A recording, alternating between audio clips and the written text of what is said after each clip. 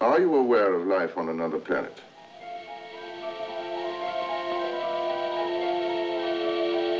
Why are you so nervous when an aircraft flies above you? Until recently, we haven't been able to make our control reach as far as a high aircraft. Well, now you have, is that it? That there's nothing you can do to stop us. Leave us alone.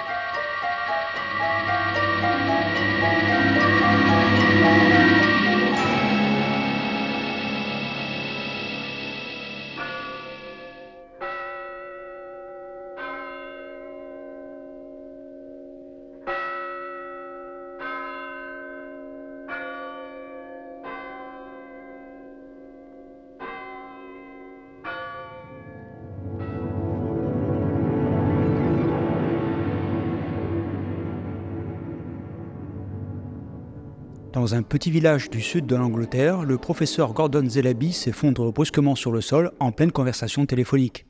Au même moment, toutes les personnes et tous les animaux du village s'évanouissent tout aussi soudainement. Quelques heures plus tard, cette étrange force disparaît, le village se réveille aussi mystérieusement qu'il s'est évanoui et aucune explication n'est apportée à ce phénomène étrange. Les mois passent, tout semble normal, sauf que toutes les femmes en âge de procréer sont enceintes sans raison. L'épouse de Zelabi se retrouve également enceinte, et au début le couple accueille la nouvelle avec joie. Mais les fœtus se développent à un rythme accéléré, ils naissent tous prématurément à peu près au même moment, et continuent de mûrir à une vitesse alarmante. Ils sont douze au total, ont tous les mêmes cheveux blonds, une intelligence hors du commun et des yeux étranges et pénétrants. Capables de lire dans les pensées, ils poussent les gens à faire des choses qu'ils ne veulent pas faire, mais les villageois craignent de plus en plus que ces enfants soient dangereux et que le pire reste à venir.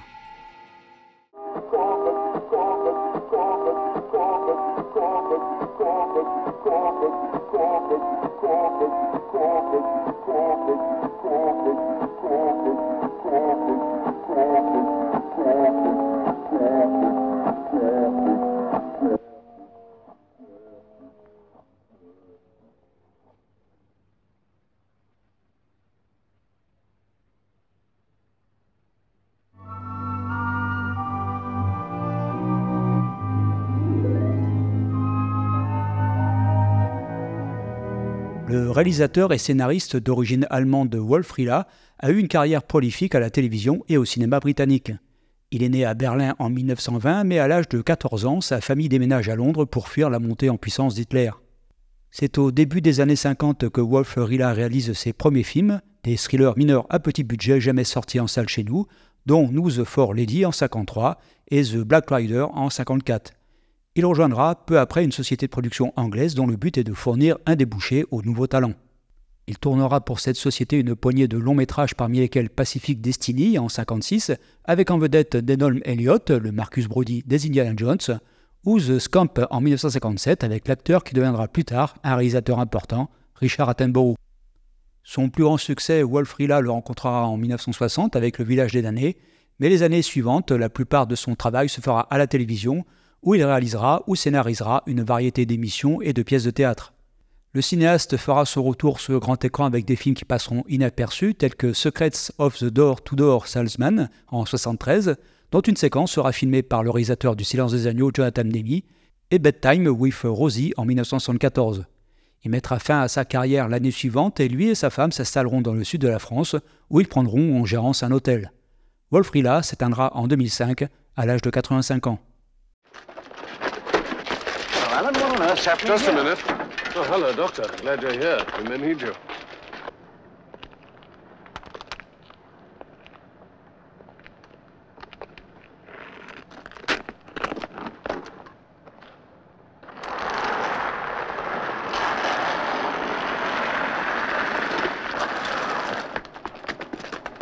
What's wrong with him? That's what we're trying to find out.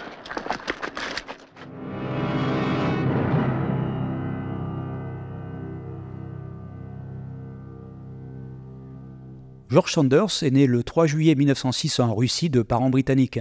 Il a fait ses débuts sur scène en 1929 et passe au cinéma au début des années 30 en jouant d'abord dans des productions britanniques. En 1937, Sanders s'est installé à Hollywood et a commencé à apparaître dans des films américains où il devient rapidement célèbre pour ses interprétations raffinées. Parmi ses premiers rôles notables figurent le drame Rebecca et Correspondant 17, deux films d'Alfred Hitchcock, et le portrait de Dorian Gray d'Albert Lewin. Au total, il apparaît dans plus de 100 films, dont L'aventure de Madame Nuire de Joseph Mankiewicz, Ivanhoe de Richard Thorpe, ou encore la production Disney Le Livre de la Jungle, où il prête sa voix au personnage de Sher Khan. Mais c'est de nouveau Joseph Mankiewicz qui lui offrira l'un de ses rôles les plus emblématiques, celui d'un critique de théâtre cynique dans Eve, une performance qui lui apportera l'Oscar du meilleur second rôle. La voix douce de George Sanders et sa capacité à transmettre à la fois charme et menace feront de lui un acteur recherché dans les films noirs et les thrillers à suspense. Malgré sa carrière couronnée de succès, George Sanders a dû faire face à des problèmes personnels, notamment la dépression et un sentiment de désillusion. Il s'est suicidé en 72 à Barcelone à l'âge de 65 ans. Sa lettre d'adieu disait entre autres Cher monde, je pars parce que je m'ennuie.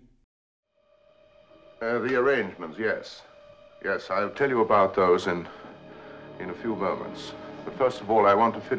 moments. The question of atomic energy. You're not thinking of atomic energy. You're thinking of a brick wall.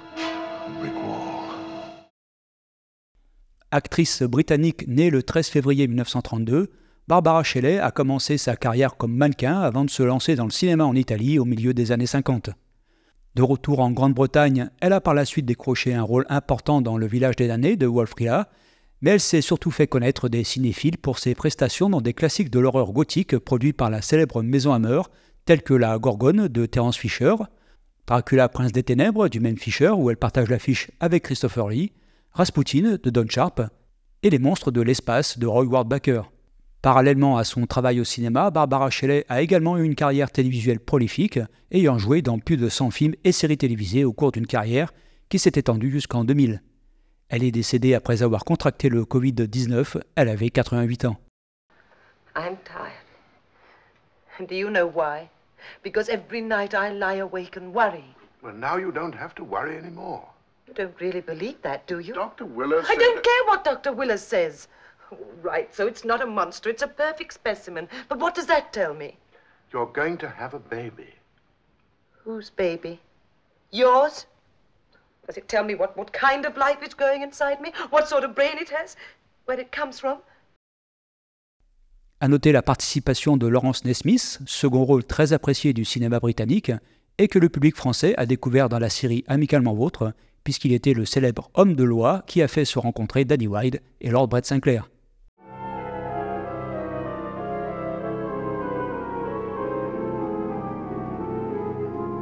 C'est la Metro Goldwyn Mayer qui a acquis les droits d'adaptation cinématographique avant la publication du roman The Midwich Cuckoos écrit par John Wyndham en 1957. Le titre fait référence au coucou, ce volatile qui pond ses œufs dans les nids des autres oiseaux, forçant les autres parents à élever les jeunes coucous aux dépens de leur propre progéniture.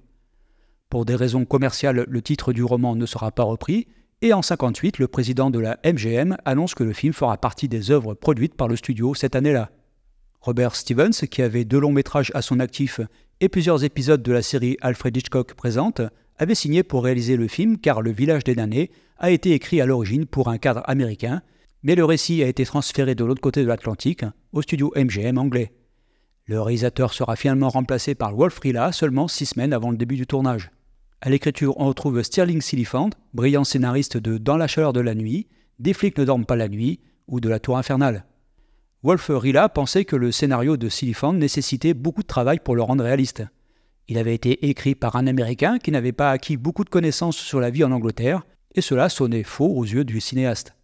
Rilla fut informé qu'il n'avait qu'un seul week-end pour faire des changements, et dira plus tard Je ne pense toujours pas que le scénario était aussi bon qu'il aurait pu l'être, mais nous n'avions tout simplement pas le temps. La majeure partie du tournage, qui a duré six semaines, a eu lieu en studio, mais également sur place dans un village situé à environ 19 km au nord de Londres. Le budget s'élevait à seulement 225 000 dollars, et ce faible budget obligea les scénaristes à réduire le nombre d'enfants nés de cette force inconnue, passant ainsi de 60 dans le livre à 12 dans le film. Wolf Rilla et son maquilleur ont créé une grande partie de leur apparence subtilement étrange au moyen de perruques spéciales qui suggéraient des fronts légèrement plus grands que ceux des enfants normaux. L'effet des yeux brillants lorsque les enfants utilisent leurs pouvoirs mentaux a été obtenu en appliquant une image négative inversée de leurs yeux sur leurs pupilles. Cela a formé un iris blanc brillant avec une pupille noire lorsqu'il était imprimé optiquement dans le film. Là encore, pour une question de budget, cette technique a été principalement utilisée sur des plans d'arrêt sur image. La seule séquence de mouvement traitée de cette manière est dans une scène où l'effet des yeux apparaît pendant que David parle. L'effet est d'ailleurs assez saisissant pour l'époque. Leave us alone.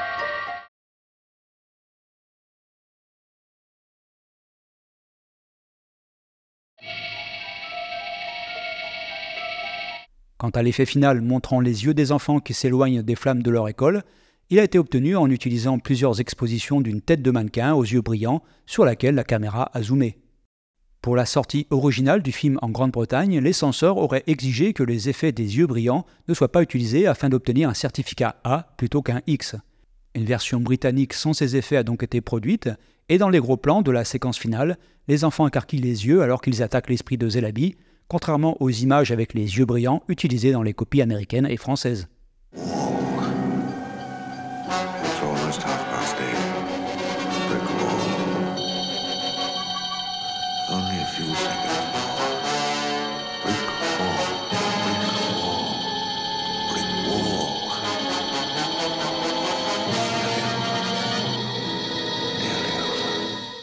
La MGM produira 4 ans plus tard une suite honorable avec un autre réalisateur aux commandes, même si on est plus proche d'un remake que d'une suite puisque l'histoire est assez similaire. And be sure no one finds out. Otherwise, more people will be hurt. You'll tell us the arrangements you've made when you come to give us our lesson on Friday. David. You won't be able to deceive us. You know that, don't you? Yes, I know that. Very well. Let us know your arrangements on Friday.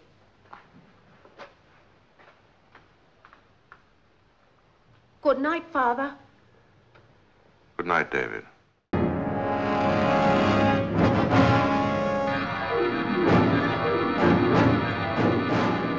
Né en Angleterre le 17 février 1925, Ron Goodwin a appris à jouer du piano à l'âge de 5 ans, puis a étudié plus tard la trompette. Le village des damnés est sa seconde partition pour un long métrage. Après le film de Wolf Rilla, Ron Goodwin a surtout connu la popularité pour avoir écrit la musique de plusieurs films de guerre aux thèmes facilement mémorisables comme Quand les aigles attaquent en 69, La bataille d'Angleterre la même année, ou L'ouragan vient de Navarone en 78. On lui doit également la musique de Ces merveilleux fous du volant dans leur drôle de machine et celle de Frenzy d'Alfred Hitchcock en 72. Il composera au total la musique de plus de 60 longs métrages. Il n'existe aucune édition CD de la musique, car il y en a très peu dans le film, et on ne peut pas dire qu'elle soit spécialement marquante. Budget Rikiki oblige elle est jouée par une toute petite formation composée pour l'essentiel de cuivre, de bois, de quelques percussions, auxquelles ont été ajoutés quelques sons électroniques.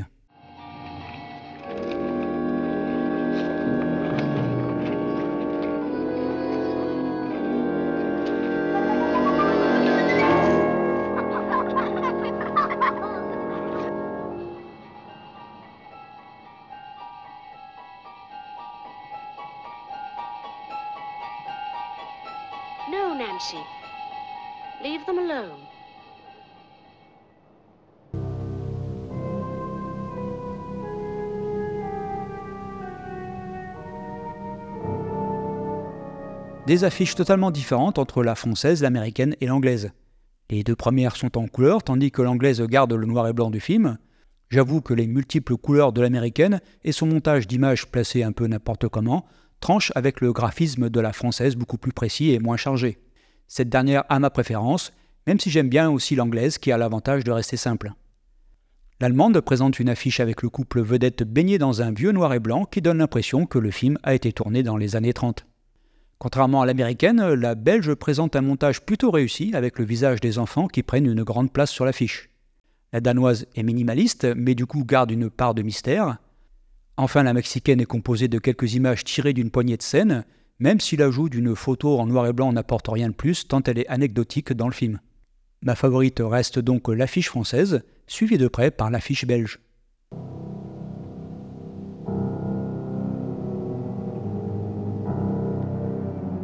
Le film est sorti aux États-Unis le 7 décembre 1960 et a rapporté 1,4 million de dollars. Il a donc largement été rentabilisé. Au Royaume-Uni, il est sorti le 13 novembre 1960.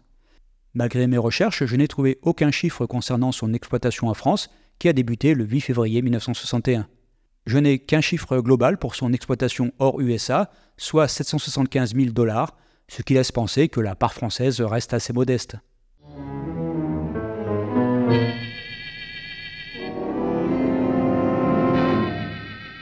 Le cas du village des damnés est intéressant car son passage en sous-commission est arrivé juste avant la mise en place du nouveau décret qui modifiait la classification des films, ce qui a valu quelques échanges de courriers entre le studio et la commission de censure.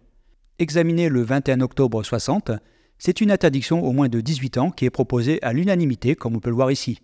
Pour le représentant de la justice, renvoi en plénière pour interdiction mineure. Pour le représentant de l'éducation nationale, renvoi en plénière en raison du sujet qui a trait aux enfants conçus par radiation atomique et dotés d'une intelligence supérieure, mais aux intentions monstrueuses. Pour le représentant de la santé publique, renvoi en plénière pour interdiction au moins de 18 ans. Les membres de la plénière confirmeront cette interdiction le 15 novembre. Quelques semaines plus tard, le décret modifiant la classification est mis en place. Le moins de 18 ans reste, le moins de 16 disparaît, remplacé par le moins de 13. Le 24 avril 61, soit dix semaines après la sortie du film, qui, à l'époque, pouvait rester plusieurs mois à l'affiche, la MGM demande un nouvel examen afin de profiter de cette nouvelle réglementation et obtenir une interdiction au moins de 13 ans. Et bien sûr, comme d'habitude, n'hésitez pas à faire un arrêt sur image pour lire l'intégralité des courriers. Nous avons l'honneur de solliciter de votre part un nouvel examen de notre film Le Village des damnés. En effet, avant la promulgation des nouveaux décrets concernant la censure, notre film fut interdit au moins de 18 ans, car il n'existait pas d'autre classification pour les films interdits aux mineurs. Si son sujet peut être inquiétant pour des jeunes, l'interdiction ne devrait pas aller, à notre sens, au-delà des moins de 13 ans. La réponse de la commission de contrôle ne se fera pas attendre et maintiendra le moins de 18 ans. Mais la MGM ne baisse pas les bras pour autant et renvoie un courrier le 4 mai. Nous accusons réception de votre lettre du 28 avril, dont le contenu nous a beaucoup surpris. Devant la commission de censure au mois de novembre 60, il nous avait été indiqué que ce film ne devait pas subir essentiellement l'interdiction aux mineurs de 18 ans, mais seulement à des enfants plus jeunes, et elle nous avait laissé espérer que dans le cas où les doubles restrictions seraient mises en application, nous pourrions sur notre demande recevoir une réponse favorable. C'est pourquoi nous vous serions gré de bien vouloir encore une fois reconsidérer notre demande en vous priant d'excuser notre insistance, mais cette interdiction à tous les mineurs de moins de 18 ans nous cause un tel préjudice qu'il est normal que nous tâchions de protéger les intérêts de notre société. Finalement, le film est revu en commission plénière le 17 mai 61 et le président de la commission fait part de leur décision au ministre de l'Information, qui serait aujourd'hui le ministre de la Culture. La société Metro Goldwyn Mayer a sollicité de ma part un examen de cette production afin d'envisager la possibilité de substituer à l'interdiction au moins de 18 ans celle au moins de 13 ans. Tout est bien qui finit bien, le ministre de l'Information annonce à la MGM qu'il se range à l'avis de la commission. Toutefois, le film étant déjà sorti, la fiche française gardera la mention interdit au moins de 18 ans.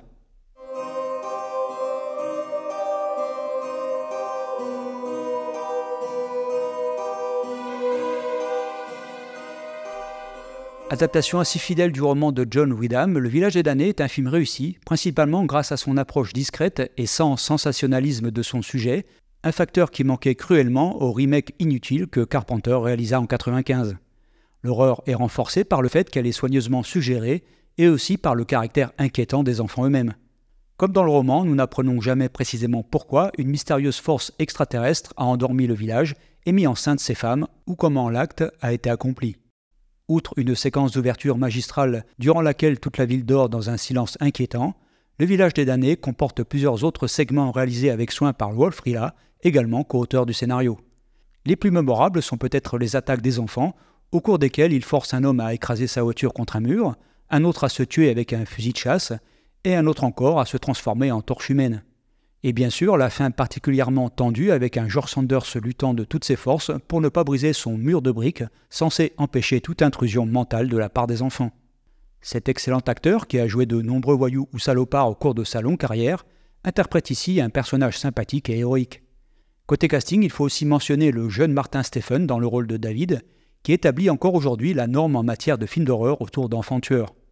On le verra d'ailleurs l'année suivante à l'affiche d'un autre grand classique, Les Innocents.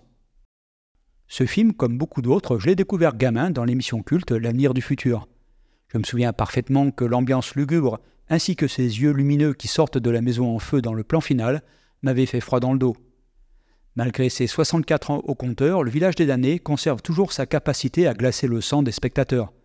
D'une durée de seulement 77 minutes, le film est compact, va droit à l'essentiel, il n'y a pas de gras, pas de remplissage. Avec son magnifique noir et blanc et ses performances d'acteur convaincantes, le long métrage de Wolf Rilla, qui a été un succès critique et public, fonctionne à la fois comme une œuvre de science-fiction intelligente et un récit d'horreur plein de suspense, arrangé avec d'autres classiques du genre tels que La Maison du Diable, L'invasion des profanateurs de sépulture ou L'homme qui rétrécit.